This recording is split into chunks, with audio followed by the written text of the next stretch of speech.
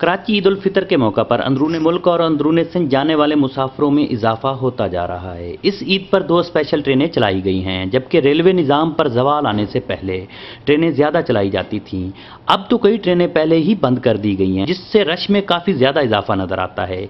इसके साथ साथ मुल्क में अमन अमान की नाकिस सूरत हाल को देखा जाए तो कराची कैंट स्टेशन पर सिक्योरिटी के किए गए इंतज़ाम गैर यकीनी नज़र आ रहे हैं, क्योंकि ना तो रेलवे पुलिस आने वाले किसी मुसाफिर का सामान या बैग चेक कर रहे हैं, बल्कि टोलियों की सूरत में अपनी गपशप में मसरूफ हैं। आप यहाँ पर ड्यूटी ऑफिसर हैं। जी जी। तो आप ये मुझे बताएँ कि पुलिस का काम क्या है यहाँ पर? पुलिस का काम जुर्म रोकना है। जुर्म रोकने के साथ साथ ये जो मुसाफिर आ रहे हैं इतने बड़े बड़े बैग ए, उठा के ला रहे हैं इसको किसने चेक करना है? इसलिए वो हमारे खड़े हुए डिटेक्टर बम डिस्पोजल स्क्वाड वाले। डेढ़ घंटा यहाँ पर हो गया किसी आपके अफसर ने या किसी आपके मुलाजिम ने चेक नहीं किया? तो बिल्कुल चेक किया है बम डिस्पोजल का। बंदा वहाँ गेट पर मौजूद है जो गुजरता है उसको इतने, इतने बंदों की यहाँ ड्यूटियाँ लगाई गई हैं वो किस लिए? नहीं नहीं बिल्कुल चेक किया मैं खुद खड़ा रहा हूँ एक घंटे तक गेट के ऊपर हर बैग को चेक कर रहा है। अभी मैं ड्यूटी अफसर हूँ मैंने तो पूरी स्टेशन पर नज़र रखनी होती है। भैया जरा छोटे भाई जरा बात सुनना।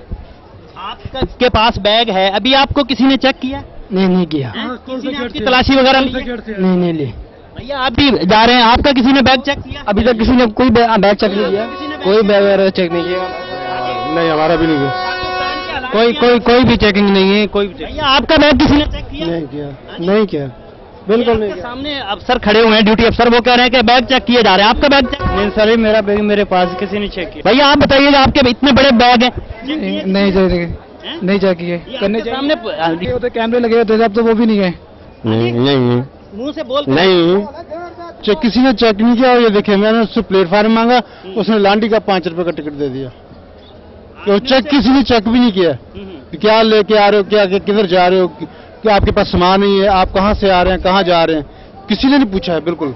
ईद पर अमूमन रेलवे स्टेशन पर मुसाफिरों का रश ज़्यादा होता है, क्योंकि ज़्यादातर लोग अपने आबाई इलाकों में जा रहे होते हैं। रेलवे पुलिस इंतजामिया कराची डिवीज़न के मुताबिक, ईद उल फितर के मौका पर ब्लैक मार्केटिंग टिकटों की फरोख्त पर की जाने वाली ओवर चार्जिंग की रोकथाम और बगैर टिकट सफ़र करने वाले मुसाफिरों के खिलाफ खसूसी मुहिम चलाई जाएगी। इस सिलसिले में एक खसूसी टीम तश्कील दी गई है, जिसकी निगरानी S S P railway Muzaffar Ali Sheikh बराह रास्त करेंगे। किसी भी किस्म की दहशत गर्दी या तकरीबकारी के वाकत से निपटने के लिए सख्त हिफाजती इंतज़ाम किए गए हैं। मुसाफिरों को और उनके सामान को अच्छी तरह चेक किया जा रहा है। कराची रेलवे पुलिस के इंतज़ाम सिर्फ़ दावों पर ही मबनी है। जराये के मुताबिक रेलवे इंतजामिया की मिली भगत से रेलवे पुलिस के एहलकार ब्लैक टिकटिंग में अपना भरपूर किरदार अदा कर रहे हैं। क्योंकि जब मुसाफिर टिकट खरीदने के लिए रेलवे काउंटर पर जाता है तो बुकिंग क्लर्क टिकट नहीं देता।